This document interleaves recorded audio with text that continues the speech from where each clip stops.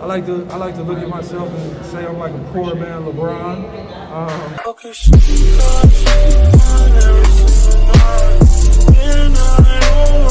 All bets on sports.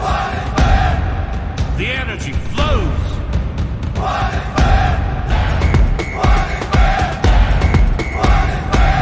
One is bet. This is your victory. Your performance tonight at 37 points in your first game in DNB. um, it was just about you know coming out and competing. You know, uh, I had a couple practices with my teammates that uh, they were able to you know just feel me out, and I was able to you know see what they liked and how they played, and that really just sparked you know kind of that. Um, that chemistry that you saw out there, and it made it a lot easier for me that they, you know, welcomed me in. So, yeah. Coach, uh, Coach Jolas um, says uh, you, give- you give, uh, a little bit of everything. Um, uh, it coach um, giving you some um, positive words. Yeah, yeah. I try to. Uh, I like to. I like to look at myself and say I'm like a poor man LeBron, um, where you know it's about making your teammates better, um, making the game flow, um, and then when the team needs me to score, being able to do that as well. Uh, that's something that I, I, I try to focus on.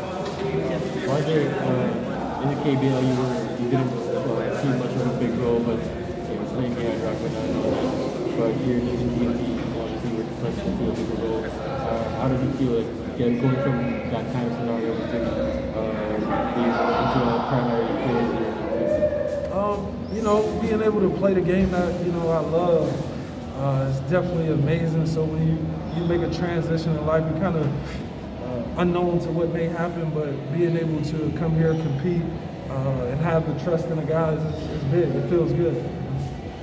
regarding the KBL. I think uh, you know there were comments that uh, that obviously it didn't work out with the coach. Um, uh, were there, was there any like there, is that a burn bridge or do you feel like you know, the, the, the PBA? Do you think it's, it's a fresh start?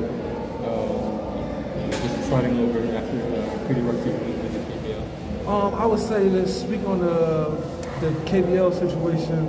Um, it's kind of tough, you know. So what I tend to do when situations don't work out is I'll put out in the world what some people may not, and that's love. So um, I love my teammates, um, the way they treated me, welcomed me in, um, training staff, uh, uh, management. You know, those guys were really good to me. Um, coaches, everybody were good, man. Everybody were good. It was just some things in life don't work out, and that's just the way uh, the way life happens sometimes. Uh, fits don't happen, relationships and things of that sort, um, and we just learn from it. We grow from it, uh, and that's just the way it is. So.